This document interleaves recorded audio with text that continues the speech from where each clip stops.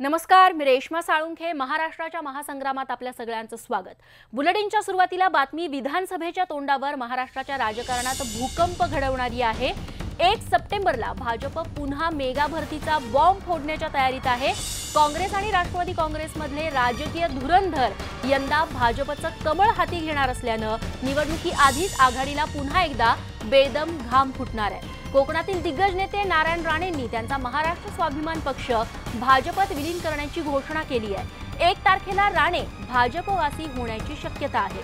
त्यामुळे कोकणात शिवसेनेला झुंजवण्यासाठी भाजपच्या हाती मोठं हत्यार लागणार आहे. त्यासोबत साताऱ्यातील राष्ट्रवादी काँग्रेसचे खासदार उदयनराजे भोसले काँग्रेसचे दिग्गज नेते हर्षवर्धन पाटील विधान परिषदेचे सभापती रामराजे नाईक निंबाळकर उस्मानाबाद येथील राष्ट्रवादी काँग्रेसचे नेते आणि शरद पवारांचे नातेवाईक राणा जगजित सिंग.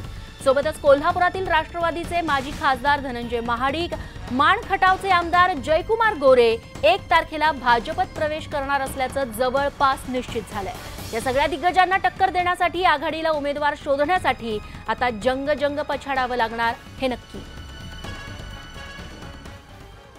तेव्हा एक तारखेला भाजपचा हा भरती बॉम्ब नेमका कसा असणार आहे? कोणकोणती मोठी नावं आहेत त्यात? सविस्तर नजर टाकूयात पुन्हा एकदा. सगळ्यात मोठं नाव अर्थातच नारायण राणे त्यांचा पक्ष भाजपत विलीन करतील अशी चर्चा आहे. दुसरे साताऱ्याचे राष्ट्रवादी काँग्रेसचे सध्याचे खासदार उदयनराजे भोसले हे देखील एक तारखेला भाजपत प्रवेश करतील अशी चर्चा आहे. जयकुमार गोरे यांचंही नाव आघाडीवरती आहे. तर कोल्हापुरातले लोकप्रिय नेते धनंजय महाडिक हे देखील भाजपवासी होण्याची शक्यता आहे. सोबतच शरद पवारांचे निकटवर्तीय राणा जगजित सिंग हे देखील भाजपत येणार अशी चर्चा सुरू आहे. रामराजे नाईक निंबाळकर हर्षवर्धन पाटील आणि सिद्धराम म्हेत्रे यांची नावं चर्चेत आहेत.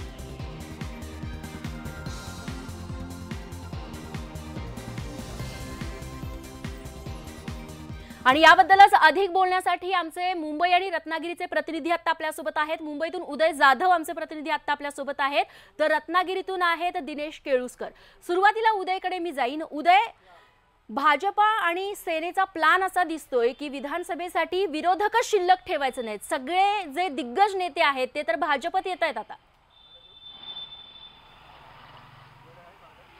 अगदी बरोबर आहे रेश्मा. कारण हा प्रश्न जो तू विचारला तोच प्रश्न शिवसेना पक्षप्रमुख उद्धव ठाकरे यांना आणि महाराष्ट्राचे मुख्यमंत्री देवेंद्र फडणवीस यांना देखील विचारण्यात आला होता. त्यावेळेला त्यांनी सांगितलं की निवडणुका होणार मात्र या एकतर्फी होतील का अशी आम्हाला देखील शंका जी आहे ती निर्माण झालेली आहे. कारण मोठ्या संख्येने जे विरोधक आहेत ते सत्ताधारी पक्षांमध्ये येऊ लागलेले आहेत आणि त्यामुळे विरोधक किती तुल्यबळ ठरणार आहे ही विधानसभा निवडणूक पूर्णपणे एकतर्फी होणार हेच संकेत जवळपास मिळालेले आहेत हो. जे दिग्गज नेते आता सत्ताधारी पक्ष भाजप असेल किंवा शिवसेना असेल यामध्ये जर प्रवेश करणार असतील तर एक तुल्यबळ जो विरोधक लागतो उमेदवार लागतात तेच जर उपलब्ध झाले नाही तर निश्चितच ज्या प्रकारे भाजप आणि शिवसेनेचे जे नेते ते दावा करत होते की दोनशे चाळीसहून अधिक जागा दोनशे अठ्ठ्याऐंशी विधानसभा जागा आहे त्यापैकी दोनशे चाळीसपेक्षा अधिक जागा या युती म्हणून जिंकतील तशी शक्यता देखील निर्माण झालेली आहे त्यामुळे हो. विरोधकांसमोर खूप मोठं आव्हान जे आहे ते उभं राहिलेलं आहे की आपलं जे जास्तीत जास्त उमेदवार जे आहेत ते निवडून आणण्यासाठी. आता जी बातमी हाती आलेली आहे की नारायण राणे यांनी जवळपास एक पूर्णपणे क्लिअर कट सांगितलेलं आहे की मी माझा पक्ष जो आहे स्वाभिमानी पक्ष तो भाजपमध्ये प्रवेश करणार आहे. भाजपमध्ये हो. जर नारायण राणे यांचा जर प्रवेश झाला तर मग शिवसेनेला भाजपचं काय उत्तर असेल? कारण कुठेतरी हा प्रश्न विचारला जातो आहे की नारायण राणे यांना भाजपमध्ये जर प्रवेश दिला तर शिवसेनेला डिवसल्यासारखं होईल का? मात्र भाजपने त्या संदर्भात अत्यंत संयमी अशी भूमिका घेतलेली दिसते. कारण नारायण राणे यांचं जेव्हा आत्मचरित्र प्रकाशित करण्याची प्रसंग आला त्यावेळेला मुख्यमंत्र्यांनी त्या प्रका प्रकाशनाच्या कार्यक्रमाला अनुपस्थिती दाखवली. त्यावरच. शिवसेनेला कुठेही दिवसला जाणार नाही आणि शिवसेनेला सांभाळलं जाईल असा एक जो मेसेज आहे तो मुख्यमंत्र्यांनी दिला होता हो. आता मात्र जेव्हा भाजपचा पक्ष वाढवण्याचा आणि पक्ष बळकट करण्याचा जेव्हा प्र- प्रसंग आलेला त्यावेळेला जर एखादा पक्ष त्यांच्यामध्ये पक्ष विलीन करत असेल तर निश्चितच भाजप त्यासाठी जे रेड कार्पेट जे असेल ते ओपन असणार आहे. त्यामुळे नारायण राणे यांच्यासाठी ती एक मोठी संधी असली तरी त्यांचा पक्ष विलीन करणार असल्यामुळे कोकणातलं जे राजकारण आहे ते मात्र काहीसं आपल्याला एक गुंतागुंत दिसू शकतं. कारण तिथे स्थानिक भाजपचे कार्यकर्ते देखील राणे यांच्यावरती नाराज आहेत. शिवसैनिक तर आहेतच. त्याचबरोबर तिथे राणे विरोधक जे आहेत ते एकवट आहेत का हे आपल्याला पाहावं लागणार आहे. आपले प्रतिनिधी जे आहेत दिनेश केळुसकर या संदर्भात अधिक माहिती सांगू शकतील. निश्चित. मला दिनेश केळुसकर यांच्याकडे जायचंच आहे. मात्र ज्येष्ठ पत्रकार सुनील तांबे सर देखील आपल्यासोबत आहेत. तांबेजी एक आणि पाच सप्टेंबरला मेगा भरती असणार आहे भाजपमध्ये. अनेक दिग्गज नेते काँग्रेस आणि राष्ट्रवादी काँग्रेसमधले आता थेट भाजपवासी होत आहेत काय आपलं मत? एक पहिली गोष्ट अशी की हे जे कोण दिग्गज नेते आहेत हे आपल्या मतदारसंघातनं निवडून येत असताना त्यांना असं माहिती असतं की आपली एवढी मतं आहेत. परंतु एवढ्या मतांवरती आपण निवडून येऊ शकत नाही त्याच्यासाठी आपल्याला दहा ते पंधरा हजार मतं बाहेरची लागतात आता हो. ती मतं आपल्याला भाजप किंवा शिवसेना ते ज्या पक्षात जात असतील त्या. ती आपल्याला मदत होईल अशी त्यांची आकांक्षा आहे किंवा अपेक्षा आहे या पलीकडे काहीच नाही. पण तांबे सर तांबे सर सेना आणि भाजप दोघेही जे पक्ष आहेत मोठमोठे नेते आपल्याकडे घेत आहेत. जागा तर दोनशे अठ्ठ्याऐंशीच आहेत. नेमकं चाललंय काय सेना भाजपत? कारण का दुसरी कुणकुण अशीही आहे की जरी ते बोलले युती होणार तरी जे जी मेगा भरती सुरू आहे त्यावरून दिसत तरी तसं नाहीये. मेगा भरती जरी सुरू असली आता आपल्याकडे दोनशे अठ्ठ्याऐंशी जागा हम्म. त्याच्यापैकी एकशे सव्वीसच्या आसपास काहीतरी भाजपकडे आहेत. साठ या शिवसेनेच्या आहेत. शिवसेनेला आपल्या जागा वाढवायला जास्त स्कोप आहे. कारण. त्यांच्याकडे साठ आहे. भाजपकडे एकशे सव्वीस आहे. तेव्हा हो. भाजप कमी वाढवू शकते असं ऑब्विस आहे. तर हे अगदी उघड दिसतंय. तर असं असेल तर भाजप आणि सेनेची आता ती मला व्यूहरचना दिसते. की जास्तीत जास्त जागा आपण निवडू म्हणजे निवडून आणल्या पाहिजेत आपल्याला आणि या याच्यामध्ये आता त्यांच्यामधले जे काही वाटप होईल जागा वाटप ते आपल्याला अजून काही माहिती नाही आहे. हो. आणि हा पेज जो आहे हा निवडणुका जाहीर होईपर्यंत राहील. खरंय त्यानंतरच होईल. आता आपण त्याचं काही भाकीत करणं. हे. मला असं वाटतं जरा घाई होईल. कारण निवडणुकीच्या राजकारणात दोन आठवडे तीन आठवडे हे म्हणजे खूप मोठा कालखंड असतो. खरंय तेव्हा येणाऱ्या दोन तीन आठवड्यात कदाचित हे चित्र स्पष्ट होऊ शकेल. तांबे सर खूप खूप धन्यवाद तुम्ही दिलेल्या या सगळ्या सविस्तर प्रतिक्रियेबद्दल. दरम्यान राष्ट्रवादी काँग्रेसचे ज्येष्ठ नेते छगन भुजबळ हे शिवसेनेच्या तर नारायण राणे हे भाजपच्या वाटेवरती असल्याचं खात्रीलायक सूत्रांकडून कळतंय. भुजबळ हे गणेश आगमना आधीच शिवसेनेत परततील तर राणे हे एक सप्टेंबरला भाजपत जाणार असल्याचं सांगितलं जात आहे भुजबळांच्या सेना प्रवेशासंबंधी गेल्या अनेक दिवसांपासून चर्चा सुरू होती. ती अखेर खरी ठरताना दिसतीये. राणे तर कधी कधीचेच भाजपत जाण्यासाठी इच्छुक होते पण प्रथमच त्यांनी यासंबंधीच्या वृत्ताला दुजोरा दिलाय.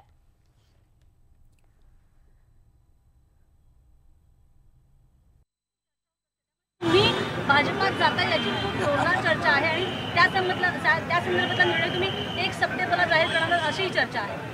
हो चर्चा आहे खरं आहे ते. तुम्ही जाता. नाही खरं आहे ते.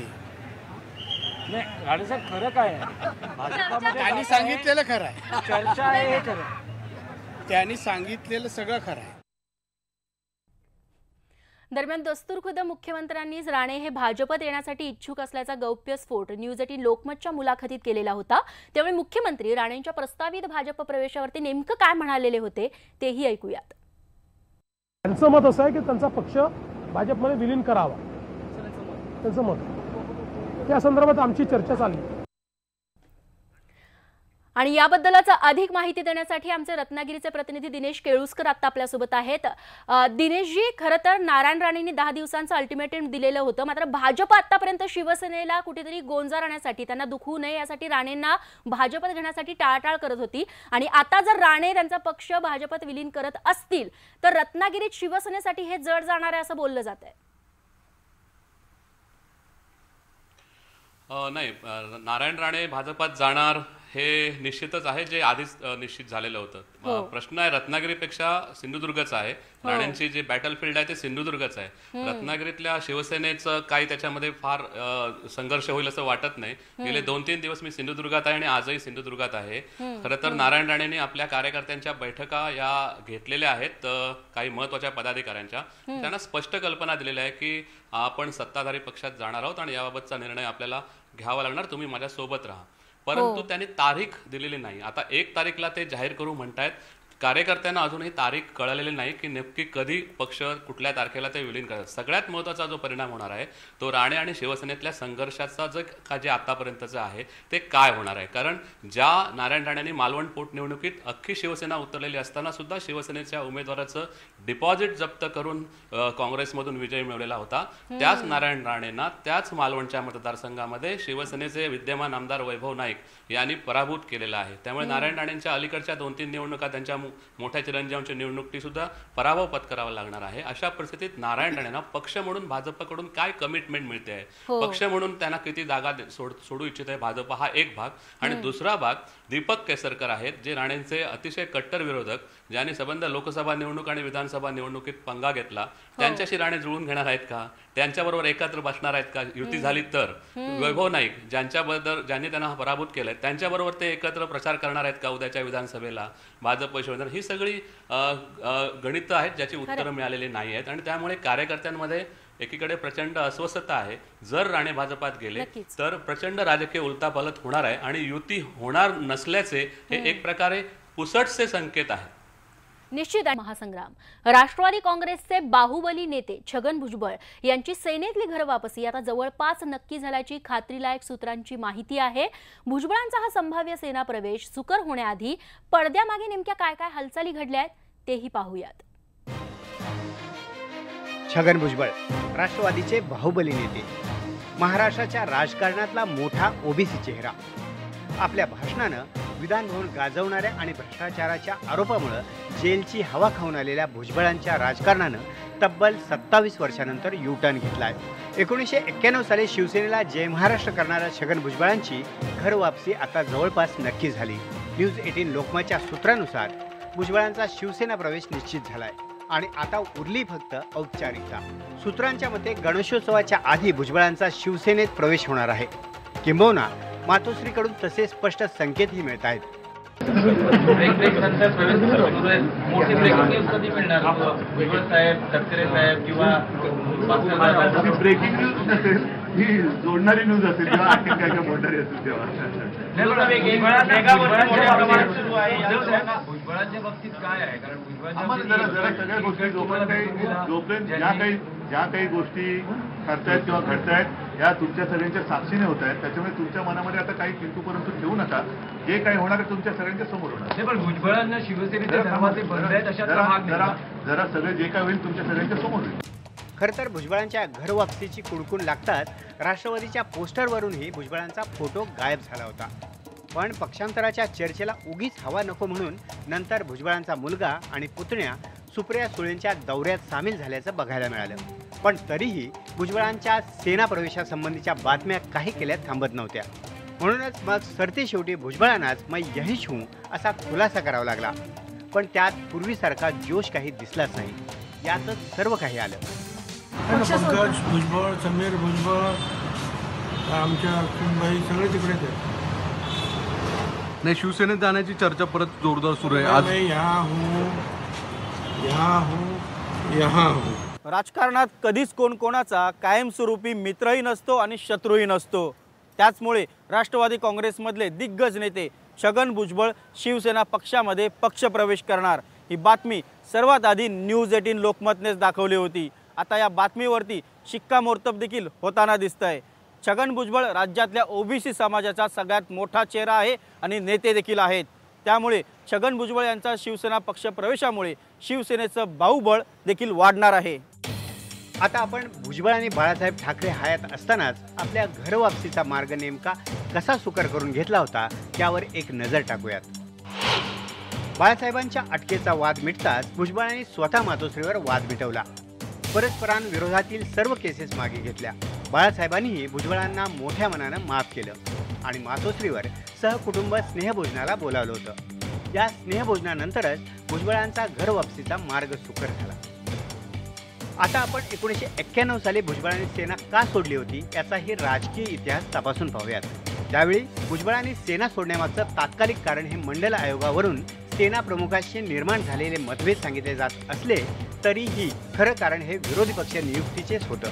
त्यावेळी बाळासाहेबांनी भुजबळांना डावलून मनोहर जोशींना विरोधी पक्षनेतेपद दिल्यानंच भुजबळाने तब्बल बारा आमदार फोडून सेनेला खिंडार पाडलं होतं. त्यावेळी भुजबळांवर शिवसेनेकडून प्राणघातक हल्ल्याचा प्रयत्न झाला होता. त्याच रागातून भुजबळांनी पुढे गृहमंत्री असताना बाळासाहेबांच्या अटकेचा घात घातल्याचं सांगितलं जातं. या टोकाच्या दुश्मनीनंतरही भुजबळांनी आपलं राजकीय कसब वापरून अखेर मातोश्री जुळवून घेतलंच आणि जुन्या वादांना मुठमाती दिली. आता या दोन्ही घराण्यात पुन्हा एकदा जवळीक निर्माण होताना दिसते. पण नाशिक शिवसेनेनं भुजबळांच्या कमबॅकला तीव्र विरोध दर्शवलाय. पण भुजबळांची राजकीय उपयोगिता मातोश्रीला चांगलीच ठाऊक असल्यानंच या घरवापसीला अखेर हिरवा कंदील मिळाल्याचं सांगितलं जात आहे भुजबळ सेनेत आले तर भाजपच्या तुलनेत सेनेची राज्यातली राजकीय ताकद नक्कीच वाढणार आहे. Uday Jadhav news eighteen Lokmat Mumbai. ब्रेकनंतर पुन्हा एकदा आपल्या सगळ्यांचं स्वागत. केंद्रीय मंत्री रावसाहेब दानवे यांनी भाजपच्या वॉशिंग पावडरचं रहस्य उघड केलंय. भाजपच्या वॉशिंग पावडरमध्ये नेमकं काय आहे ज्यामुळे डाग धुतले जातात याचा पर्दाफाशच त्यांनी केलाय. पाहूयात त्या संदर्भातला हा सविस्तर रिपोर्ट. आमच्याजवळ वॉशिंग मशीन आहे. आमच्या आला की आम्ही त्याच्यात टाकतो स्वच्छ धुतो. आणि मग आमच्या लैनीत उभा करतो बा त्याला हे वॉशिंग मशीन मध्ये निरमा पावडर टाकतो गुजरातचं निर्मा पावडर भाजपच्या वॉशिंग पावडरवरून सुप्रिया सुळेने चांगलाच फेस निर्माण केला होता. डागाळलेले नेते कसे चालतात असा सवाल सुळेने उपस्थित केला. त्यामुळे मुख्यमंत्र्यांनी वॉशिंग पावडरमध्ये डॅशिंग रसायनाचा जोरदार मारा केल्याचंही त्यांनी सांगितलं. मात्र काही रसायनं घातक असतात याकडे सुप्रिया सुळेने लक्ष वेधलं. लोक आमच्यात असले की ते गुन्हेगार असतात किंवा करप्ट असतात. ते त्यांच्याकडे गेले की कुठली तरी वॉशिंग पावडर त्यांच्याकडे आहे की ते लगेच धुतले जातात आणि स्वच्छ तांदूळासारखे साफ होतात. भाजप वॉशिंग पावडर वगैरे वापरत नाही. आमच्याकडे विकासाचं डॅशिंग रसायन आहे. की ज्या रसायनापुढे आमचे विरोधक निष्प्रभ आहे आणि मोदीजींसारखा नेता आहे. डॅशिंग रसायन म्हणाले. तर नाही म्हणाले. रसायन म्हणाले. मी एक सायन्स स्टुडंट आहे. सगळीच रसायन चांगली नसतात.